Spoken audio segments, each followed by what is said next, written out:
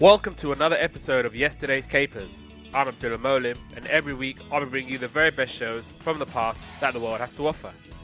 It's the last Black History Month episode, and we're talking cartoons created by some of the biggest stars in the world. We'll talk The PJs, created by Eddie Murphy, Friday, the animated series, which is, of course, based on the Friday movie franchise, and we talk Fillmore. So, let's get started. And uh, joining me as ever, but with a new mic this time, it's producer Paul. How's it going? I'm all right. I mean, you you're switching it up. Yeah, I'm, I'm trying something different. I'm not sure if it's going to work, but we'll see. I don't know. I mean, I, I listeners, I believe in full transparency. So uh, normally we use mics, but uh, producer Paul texted me in the morning saying that he might want to switch it up. So uh, Yeah, I'm testing something, but um, to be honest, test not off to a good start. But I'm going on board. I mean, I can hear you. I'm sure listeners can hear you. So uh, Well, that's a plus, isn't it? I mean, we're already we're already there. yeah, we should uh, we should be all right. And uh, yeah, without without further ado, I think we're gonna have to kick off the the last episode of the uh, the Black History Month um, Black History Month month of like shows we're doing. I don't know. I, I think I think I think I think I think this week might not be as strong as some of the other stuff that we've done already, but I think that's fair, but it's not. Um, certainly wasn't a bad week. I enjoyed one out of the three quite a lot, and then yeah, two out of three were a little bit mediocre. I think is a good so word. the, so the so the so I'm guessing you like the stop motion one out of all of the others. yeah, you got me. Yeah. giveaway, giveaway, giveaway. But um, yeah, I, I mean, look, it, I, I mean, I'll out the gate. I don't think these three shows were anywhere near as good as some of the stuff that we've done this month. But hey, it's like, like you said, it's it's not it's not awful. It's not the worst in the world. But uh, yeah, let's let's let's get right into it. We're gonna start with the uh, the stop motion one, the PJs, and uh, this came out in uh, January 1999 and some of the things happening in the world. The euro currency is established and the European Central Bank assumes its full powers. The Mars Polar Lander is launched by NASA. The China News Service announces new government restrictions on internet use aimed especially at internet cafes. The Sixth Sense was in the cinemas. And Gimme Some More by Busta Rhymes was in the charts. Busta Rhymes is awesome. One of the best to ever do it, in my opinion. The PJs now. So uh, this was a American animated adult cartoon, stop motion, black sitcom, all of those things, created by Eddie Murphy, Larry Wilmore, and Steve Tompkins. It portrayed life in an urban public housing project modeled after the Cabrini housing projects in Chicago. The series starred Eddie Murphy and was produced by Imagine Entertainment by Ron Howard and Brian Grazer, the Murphy Company and Will Vinton Studios in association with Touchstone Television, marking the show as Disney's first adult animated series. And 44 episodes aired during the show's run of two years. Each took over two months to produce, owing to the laborious stop motion process. While co creator Eddie Murphy is credited as the voice of Thurgood Stubbs on every episode, actor Phil Morris says that in some episodes he provided the voice of Thurgood. According to Morris, Murphy did not want to show up on some days to record the voice of Thurgood Stubbs, so the producers hired Morris to record Thurgood's lines, where he worked in separate booths from the other actors, allowing the producers to replace Morris's recordings with Murphy's voice in case Murphy decided he wanted to record his dialogue. The PJs won three Emmy Awards and one Annie Award during its run. Quincy Jones's son, QD3, along with George Clinton, produced the theme song for the show. Some of the characters there's obviously Thurgood Orenthal Stubbs, also known as the Super or simply Super. He's a superintendent of the Hilton Jacob projects and the main protagonist. Thurgood is short tempered, impatient, not very bright, and suffers from a variety of health issues. Muriel Stubbs, who's Thurgood's wife and the show's voice of reason, she wears a pink sweatsuit with the word Paris on it, which she got on a trip to Paris with Don King. and pastel pink shoes. Florence Normandy Avery is a senior citizen who bullies Thurgood throughout the series. She, like the other tenants, hates him with a passion because he never fixes her rundown apartment. Calvin and Juicy, they're two children who are best friends and idolize Thurgood. Calvin is thin and intelligent, while Juicy is overweight and slow witted, where he has Calvin and Thurgood as a surrogate family due to his parents being shut ins. And Smokey, who's the homeless crackhead, who's often whose antics often anger Thurgood, and his real name is Elista. So, the PJs. So I knew about the PJs. I, I thought it was just animation. I didn't realize it was stop motion. So I was like quite surprised to. Um, I actually checked to see if it had been redone because I was like, I'm sure. Cause, but in my head, I had like Harold out of um, Hey Arnold in my head. Yeah, it was a bit weird to, to look at it, and I didn't realize that PJs was like the project. I was learning, but yeah, I thought it was quite funny. Weird to to hear that Eddie Murphy just decided he didn't want to turn up on one day of the recording. You know, all these people are you know working away, paying their bills, and he just Yeah, do you remember we were talking about Muhammad Ali and all the amazing things that he did, but the cartoon wasn't one of them? That's exactly how I feel about the PJs. Eddie Murphy has done some amazing things. This was not one of them, and the proof is in the pudding because he couldn't even be asked to show up and do his job. Well, that being said, though, I did enjoy it. I watched this first out of three, so I enjoyed it nonetheless. I mean, yeah, it had it had some funny moments. It had some obviously if, if it's Eddie Murphy, then it's bound to be funny and it's gonna be but um yeah, it's one of those Eddie Murphy has done a lot of amazing things. He's done a lot of amazing movies, but this, yeah, I don't know. I don't know if this if this is gonna count on his like list of like amazing things that he did. Yeah, I, I just yeah, this this this it was okay at best. It was it was as it was what the kids would say mid. I'd say it's all right, man. Like, I'd say enjoyed- I'd say this whole week was mid. I think look, we've had like three what three stellar weeks. Uh, yeah, yeah. All, all all the other shows were were, were, were, were pretty damn good, and then and this came along. Yeah, I think it's difficult to continue on an upwards trajectory. Yeah, we got to talk about Eddie Murphy a little bit and uh, all of the cool, amazing films that he's done. But Dr. before I ask you, before I ask you, Doctor Dolittle wouldn't even make my top ten Eddie Murphy films. Now, before I ask you about your favorite Eddie Murphy films, I just want to check one thing with you. You've not seen Trading Places, have you? No, You've not seen Coming to America, have you? no. But I did think about that when I when, when I was Oh, well, when I I saw Eddie mean- Murphy's name in the credits, I was like, uh I mean, I don't know if if if if, if I can really ask you for a, a top Eddie Murphy list of films because if you haven't got Trading Places and if you haven't got Coming to America, which by all accounts are his two best films, then Beverly Hills Cop, right? yeah, yeah, yeah, that's that's that's very Beverly. Hills Cop two, Beverly Hills Cop three.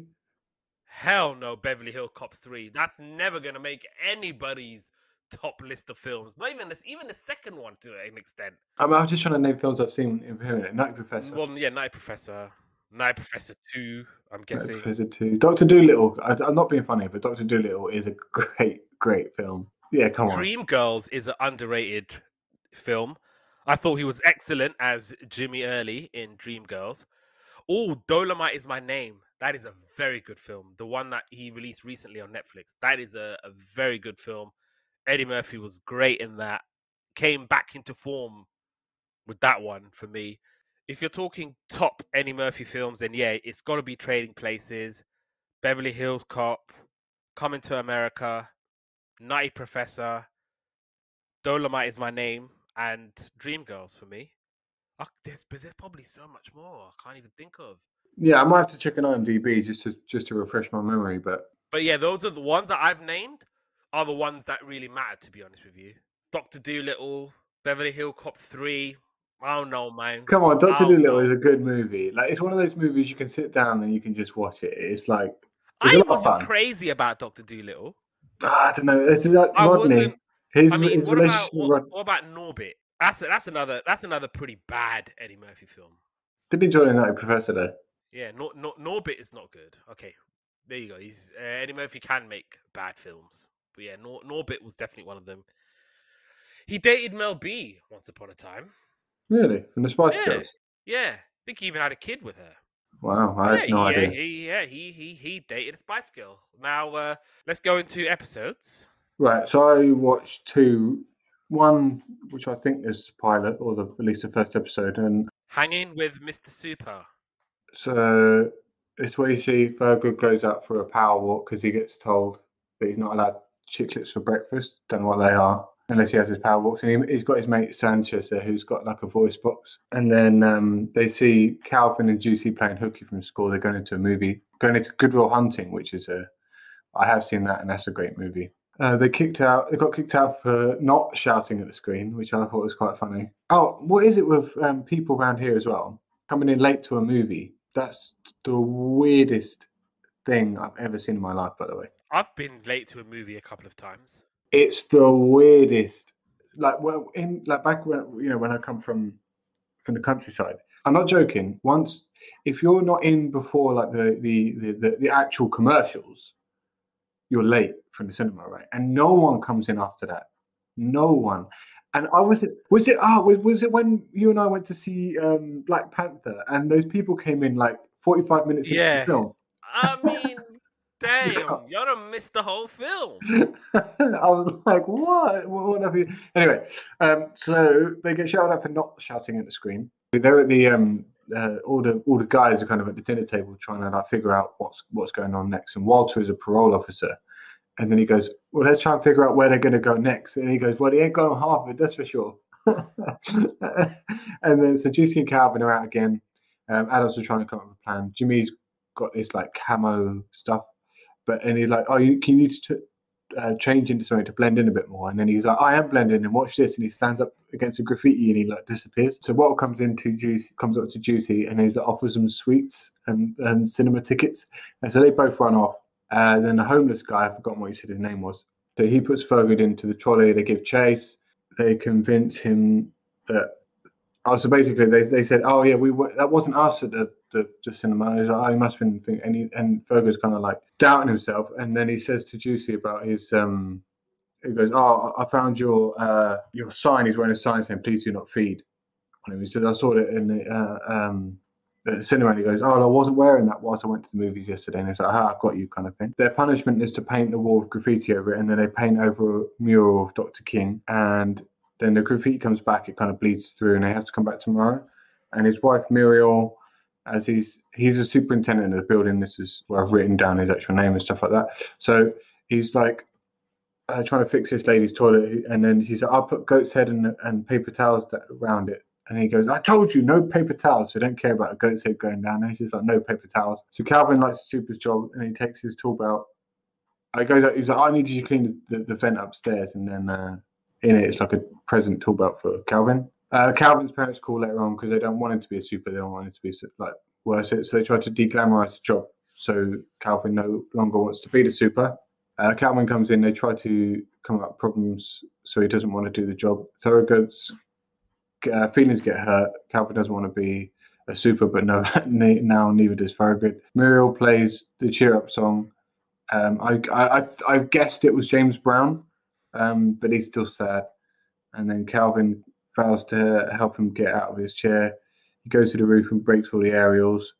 Uh, but in doing so, he kind of nearly falls off the roof. He's kind of hanging by one of the TV aerial cables. So he goes to the roof, sees Calvin, and he and he has to cause like an F5 tornado in the toilet. And um, then to fix it, he kind of jiggles the handle. Yeah, then he's happy and he's singing James Brown. Series three, episode ten was my next one. I went all. The, I watched an episode from season two, and it's called the Jeffersons. So basically, they're having a tenants meeting. They're all getting cranky because Thurgood is rubbish at his job, and Calvin is at the meeting and he's saying that everybody should donate books to the school library because the local library has been closed. And then obviously someone makes a point about there's nothing more dangerous than a black man reading, and that's why they want to close all the libraries in the hood. And then obviously they're all donating books. Thurgood wants to donate his family Bible, but Muriel doesn't want him to do that. And then she tells him that in the book there's something in there that tells him that he's related to Thomas Jefferson. And because Thomas Jefferson had a slave and that slave had a baby, and down the line, Thurgood is in the, the family line. And so he starts to dress up like Jefferson. He makes a, a declaration and he's trying to make the most of his relation to Jefferson. And obviously, he inspires Florence to clean up her own toilet because it's like, you don't want the man doing everything for you. We fought slavery. We fought this. You know, clean your own toilet. Yeah. Getting everyone all hyped. And so he's hiring people to help run his campaign. And he hires a spin doctor to stop people saying that his finances are quote unquote niggardly. And obviously, he's like, What do you mean my finances are niggardly? What is that even supposed to mean? And so he's getting an image guy, a speech guy.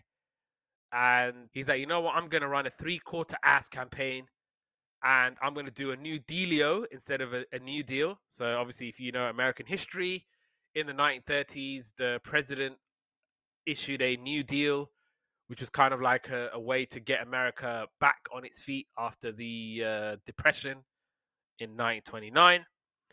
And so his new dealio is like, I'm going to build new like libraries, I'm going to build a hospital, all of those things then Thurgood gets kidnapped by someone who wants him to win, and he's like, oh, he's he's ensuring his victory by taking care of his campaign. He gives him a drink, and he gets knocked out and comes back after three days. And then it's election night, and Thurgood wins by a landslide. It's the first day of the office, and he gets a call from the guy who helped him win, and he has to put more liquor stores instead of building schools, or else there's gonna be like bad revealing pictures coming out. And so he's trying to convince people about having a new liquor stores.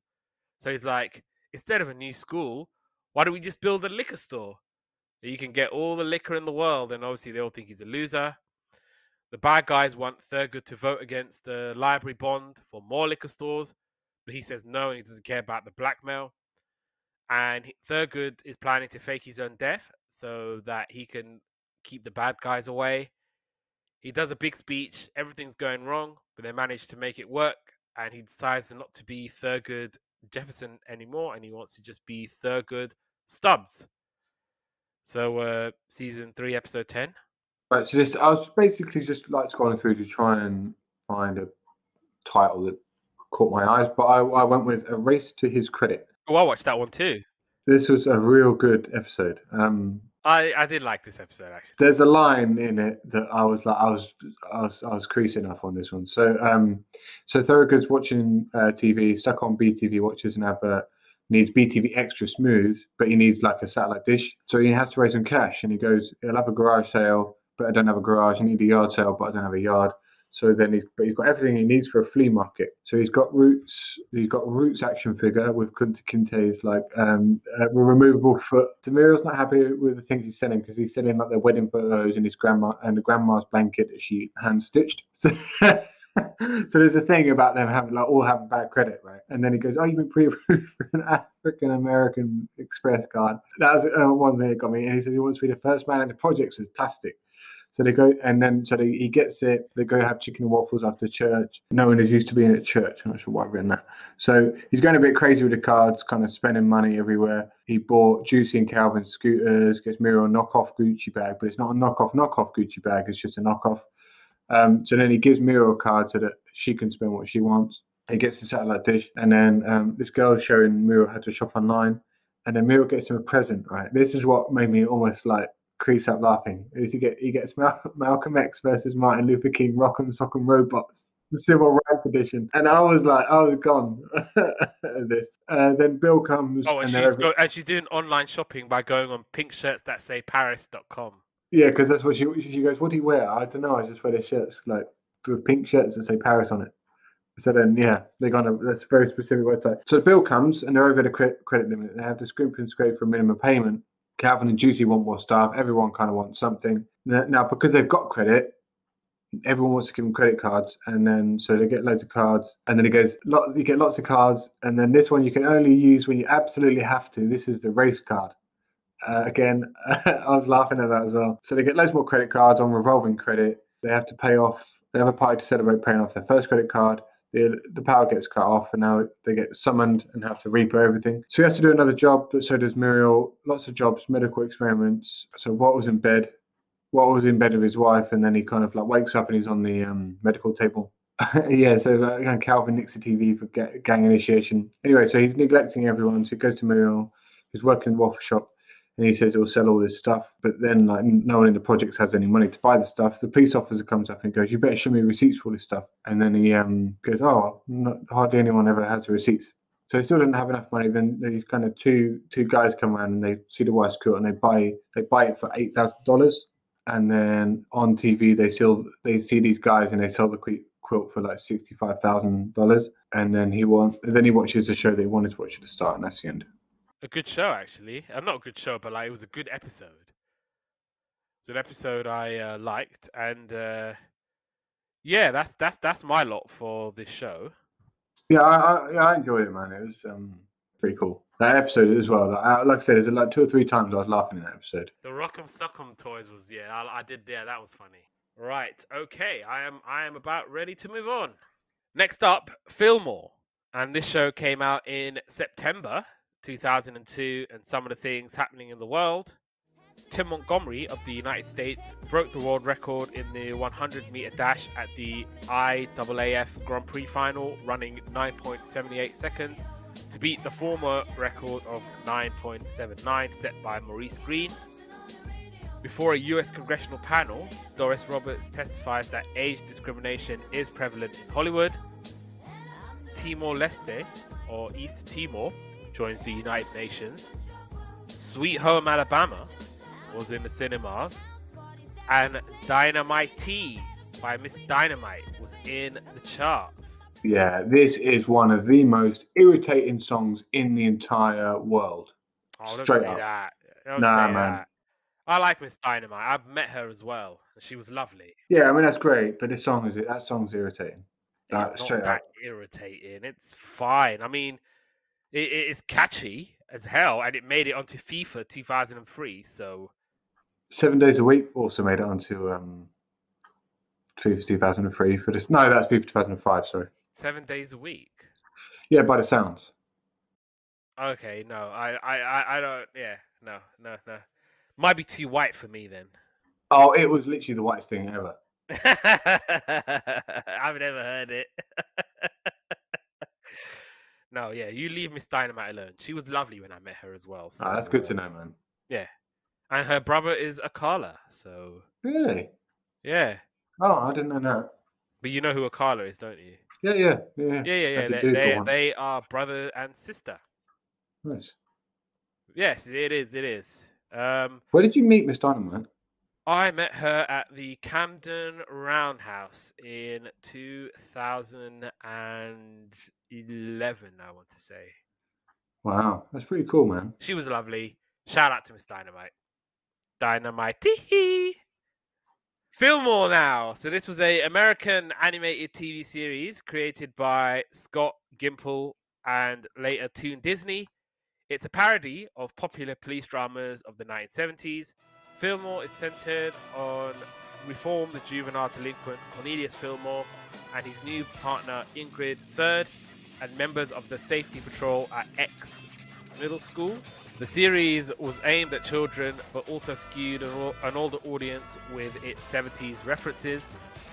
12 year old Cornelius is a juvenile delinquent with a record, and he was caught raiding the school's new chalk shipment, and he was arrested and given a choice by the safety patrol officer who caught him either help him solve another case or spend the rest of middle school in detention.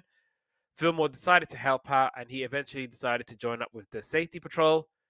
The show is based around him and his partner Ingrid, and the school is located in the suburbs of St. Paul in Minnesota. The show's format parodies that of hard-boiled police dramas, and it's actively more involved in student behavior than a typical school safety patrol, and officers seem to spend more time patrolling than actually attending class although they can be seen attending at times. And as part of the safety patrol, they solve crime and mysteries. Series usually presents child-friendly versions of common crimes such as stolen scooters, smuggling tartar sauce, holding illegal frog races, and counterfeiting collector cards. The theme song for the show was written and performed by folk band Ookla the Mok. It appears on their album Super Secret as the intro to the song That's Uber Tuba or The Mystery of Mr. P.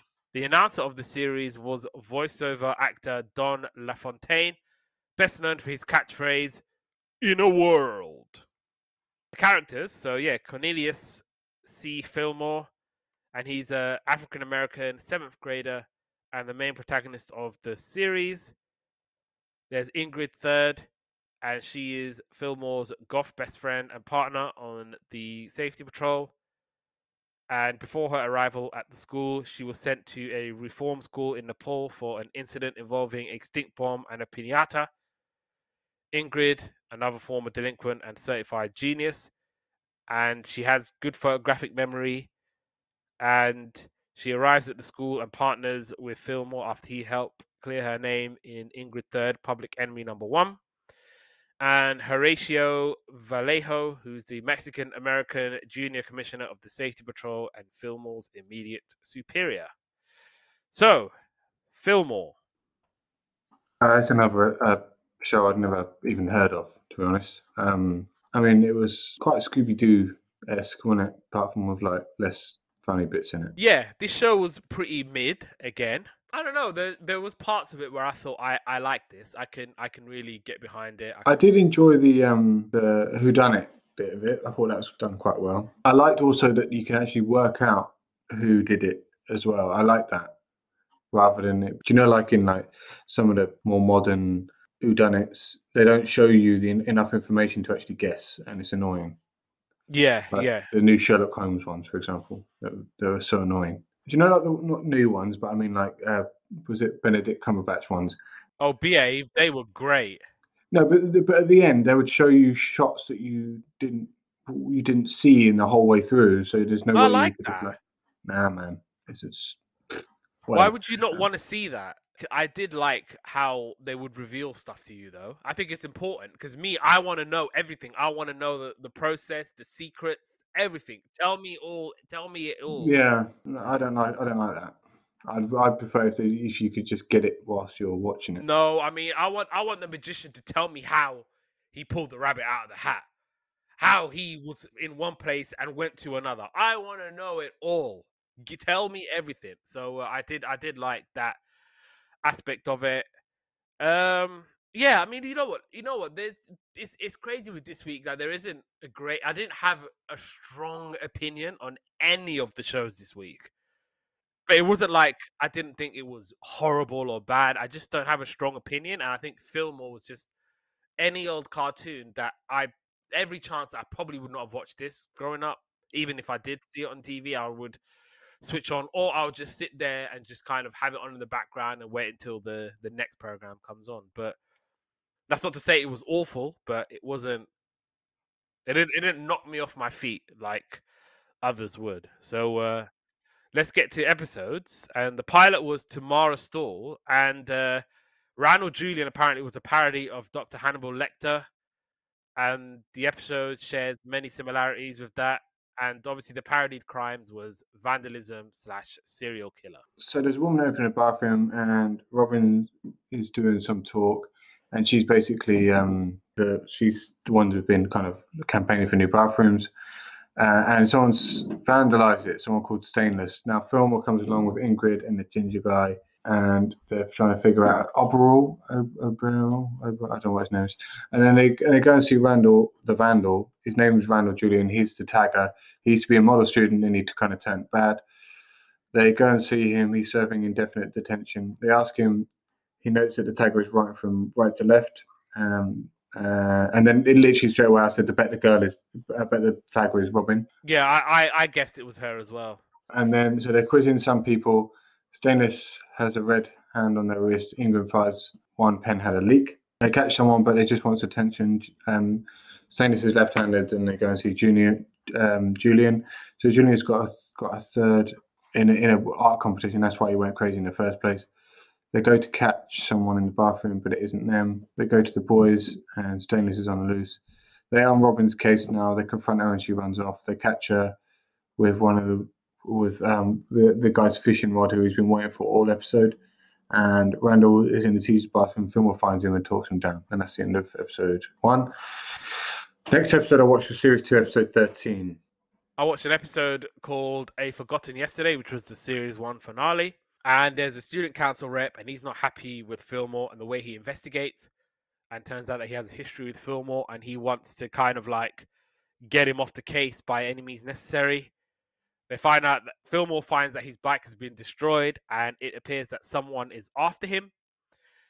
Horatio decides to take him off the case, and Ingrid wants to meet the people that Fillmore caught because obviously they're thinking if it's all the people that you caught, one of them might be going after you.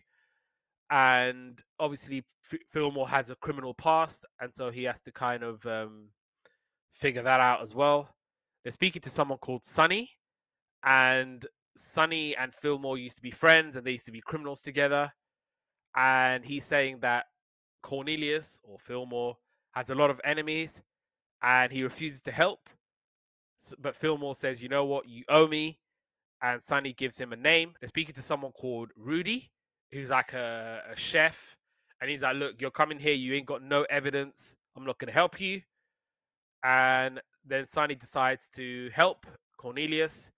Then uh, again, the student rep guy is giving them a hard time, but they still ignore him and they decide to investigate Rudy and Fillmore gets away just in time because he breaks into his like place where he stays, and there's someone that's accusing Fillmore of handing out fake hall passes. Horatio doesn't buy it, but the student rep is like, "Look, I'm going to go to the headmaster about this," and Fillmore gets suspended from investigating. They're trying to get the ledger, Rudy's ledger, which basically will have all of the evidence, and Sonny's saying that that's what I need and it turns out, uh, yeah, Sonny and Fillmore are planning to get the ledger back from Rudy. Fillmore gets it and he gets away. Then Sonny betrays Fillmore and used him all along. And Fillmore records him basically saying all of the bad things that he's done because he had his phone on and he had all the student rep people listening to it. And then Fillmore catches him and the safety patrol go after him and they catch Sonny and Fillmore realizes that Ingrid was his best partner and not Sonny, his old friend. Because obviously, his old friends like, look, we can be friends just like old times, but obviously, it was a, a trick.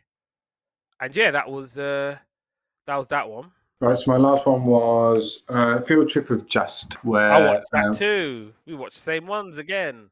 Yeah, so the bully takes some uh, people's pictures who they bully, a girl comes with two picks. She wants she wants Eric and she's called Alexandria. In the science lab, Eric's killed a spider, or you think he has. He's a resident bad boy, but maybe there's more to it. Eric isn't speaking to anyone because he's caused the ruckus, tries to escape. Artist man has icing horse. That made me laugh. Um, Eric managed to escape. Fillmore gets an all-day pass to go out of school. Ingrid days, Fillmore tracks um, to a th- thrift store. Everyone thinks Eric is bad and did it. Truant officer gets him. Fillmore escapes because he sees Eric. Um, the good girl, Alexandra says he's innocent and that one, uh, one was shouting him up. Eric's on his way to the animal hospital where they're keeping the spider and it's not like it's not dead. The goat eats Fillmore's pass. Then he gets caught again by the truant officer. The pass checks out, but is now gone. He runs off and gets chased by the officer. The ginger guy comes and is annoyed because Eric is fancied by Alexandria. Fillmore finds the offending chemical. Officer Langley finds Eric. Fillmore finds it. Now Eric and Fillmore working together to find out who did it. Uh, Ingrid uh, Ingrid goes to speak to the science teacher. He says he gets detention on purpose so he can look after animals. Um, Eric gives Fillmore the slip. Uh, Alexandria poisons a spider. He's lying because she thinks he wants to. He doesn't want to look after it. Um, he's lying about the about the um, A pluses because the bullies are his only friends. Then she runs off. Everyone comes clean, and Eric's end up tutoring the bullies, and they're fine with him being a uh, an A A plus student. Um, yeah, this was actually a pretty good episode. I thought. Yeah, it wasn't a bad episode. To be fair, I enjoyed it. No, yeah, I, I did like the, the, the, the, back and forth, back and forth, back and forth with it. Yeah, yeah, this was a, a good episode. So, uh, any last thoughts on this? No, it was all right. It definitely wasn't a bad show. Yeah, yeah. This was this was this this was uh yeah, this was fine. Last but not least, Friday, the animated series, and this came out in June 2007, and this was some of the things that happened in the world. In the Amazon rainforest, a new tribe of indigenous people is discovered. The tribe is called Meti Metiktea and is a subgroup of the Kayapo tribe. I said it wrong, I apologize. Alexander Solzhenitsyn, Russian novelist and historian, is awarded the State Prize of the Russian Federation for his humanitarian work by President Putin. Gordon Brown becomes Prime Minister of the United Kingdom. Ratatouille was in the cinemas. And Like This by Kelly Rowland and Eve was in the charts. Friday, the animated series. So this was a American adult animated TV series based on the Friday film series. The show is directed by Kevin Lofton and is co-produced by the New Line Television. Just like the original film settings, the series takes place in a modern South Central Los Angeles and follows the life of Craig Jones, his family, his best friend Smokey, and the dilemmas they come across while living in a rundown, crime ridden neighborhood. Most of the characters from the film are in the series, but they are not voiced by their respective actors. However, they are voiced by veteran voice actors. Ice Cube, who played Craig Jones in the film, served as the series exec producer. Friday, uh, the film that is, yeah, it was a stoner comedy film franchise created by Ice Cube and DJ Pooh. The series takes place in South Central LA and follows the exploits of perpetually unemployed Craig Jones, who, along with his friends and relatives, are thrust into various issues that happen to occur on a Friday. Three films have been released. So the first film, Friday, came out in 1995, was a sleeper hit and garnered a large cult following. The film's success led to two sequels, Next Friday and Friday After Next, which were also box office successes. Now, I've seen Friday, but I've not seen Next Friday or Friday After Next. Yeah, I've seen all three of them, but when but years ago, I can't remember any of what any any of it of what happened. Yeah, I watched Friday not that long ago actually because it's on Netflix. Oh, is it? Yeah, but I don't know. I, I wasn't I wasn't I wasn't crazy about it. But it was one of these times when you had stupid movies coming out, like "Dude, Where's My Car" and things like that. Like these absolutely stupid movies that make absolutely no sense. They're just there to kill time, and yeah, it's, it was born of those kind of same time. That's why that you know nowadays kind of give leave it, take it or leave it. It wasn't bad, but it wasn't like I don't I don't know. Cube has done a lot of good films. Yeah, I, I guess Friday because Friday was a hit. It was it made it made a ton of money. It kind of got yeah people like Chris Tucker, Ice Cube on the map. You had um yeah lots of like iconic characters born out of that film, and yeah, to be fair, it's it's it's uh it's all well and good. So yeah, you know, bye Felicia and and what have you. But uh yeah, let's uh let's talk about the cartoon Friday the animated series. I mean, it was very. There wasn't much to this show, to be honest. It just seemed a bit kind of like there wasn't wasn't a whole lot to write about it. Kind of the stuff happened in it, and then it finished. I don't really know what else to say about it. Yeah, I mean that. Yeah, just like the film, really. It's just yeah, a couple of guys hanging out on a porch in South Central LA, and yeah, that's that's about it, really. Yeah, like I said, this show was like the rest of them; they were all mid, and this one was probably the most Mid-ish Mid- of mid, mid yeah. show out of out of the lot. This this was all right. Again, not really much to say. So uh, let's just go into episodes, Uh, right, so I watched the first one. which was called Hardly Working. Yeah, hardly working. So the police pull up on a guy, and he says, "What can I do for what can I do for you, officers?" And then they beat him up. So Craig's sleeping in because it's Friday. At the end of the week, he was told to get a job by the end of the week. Pop says, uh, "Bring in some money." Dana doesn't have to because she's a te- in a technical institute. Uh, news report about white woman gone missing, and she's not seen been seen for two hours. Uh, completely hilarious. Smoke, Smokey and Craig talking outside. Big Mary comes. Haven't done anything but sit outside. One hour to find a job. No one's given a job. Gets home and Pop's not happy. Pop kicks him out. They go to an army um, rec center, a local recruitment center. The man went to Iraq. Uh, he used to be a gangster, but now he's like completely messed up. So Craig goes to Smokey's house. He's breaking breaking news. A witness come forward, and she was giving directions to a black man. okay, this made me laugh. Is like he was as black as the night, as black as the La Brea tar pits, as black as the color of my true love's hair, as black as Wesley Snipes. Yeah, um, I did enjoy that bit. And then he uh, there's another bit of movement after this, and he goes. He leaves his house. He gets sleep. So he leaves. He's sleeping at um, uh, what's his name, Smokey's house, and he, and he leaves. He's at the bus stop, and, and he goes. He fits the, fits the description, and then he sees the description page, and it's like black comma male. And then so mum's mad because pops kick Craig out. They see his in paper. They go to the court. The defense has lots of evidence, and then they, they go, just look at him. and then he gets held on remand. Then the white woman that's got missing comes in, and she was she was at her sister's house babysitting. Uh, Craig gets let off. He's still kicked out because he needs a job. Her name was Susie Appleby. Oh, sorry. Smokey tells him he's got a job, and then Pops is happy. And he, he says, "Just tell him you got fired. It's fine." The next episode I watched was episode six, but I don't know what it was called. Oh, my episode was when Craig met Condi, so Condoleezza Rice. You know, you you don't know who Condoleezza Rice is?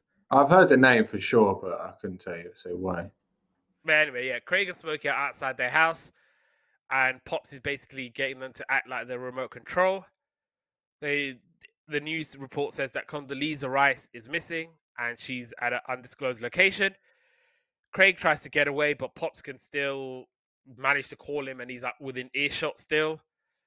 Big Mary is a relative, is Condoleezza Rice, and she's talking to Craig and Condoleezza is telling Craig that she's getting away from politics and she's surprised about how much she likes the hood. Craig takes a liking to Condi and she's getting stopped and searched by someone called Reggie and he's like the local perf, but he's dressed up as a police officer. Condi wants to make it up to Craig by, and he's like, "Oh, she's like, anything I could do, I will do it." And he's like, "Oh, bring our troops home." Nah, fight global warming? Nah. Okay, maybe take me out to dinner then. Okay, fine. Then they end up liking each other a lot. Smokey warns Craig about keeping up with Condoleezza and Craig trying to learn as much as he can. Smokey doesn't like Craig reading and he hates their relationship. Obviously, she goes to the Condoleezza goes to the salon for a makeover. George Bush is doing a, a press conference saying that she's on location, and he's obviously like, we can tap all the phones in America, but we can't find one black woman. What the hell's going on? Then Craig's family start to think that he's acting uppity, and Craig ends he ends the relationship with Condoleezza, and she's furious about it. She writes, "I love you, Craig," on the grass, but obviously she still ain't taking it well.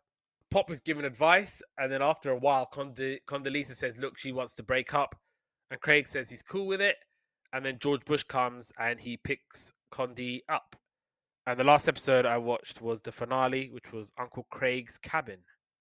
Right, so mine was a bit before that. Um, so right, so it's, it's April twentieth and four twenty. Four twenty. Oh, yeah, apparently this is a holiday. So Smokey comes in to Craig's house while sleeping. Craig beats him up, and then Pops comes in and beats him. So he can't hang with Smokey. He's got a job. Uh, Craig's working with his uncle Al, a rib joint.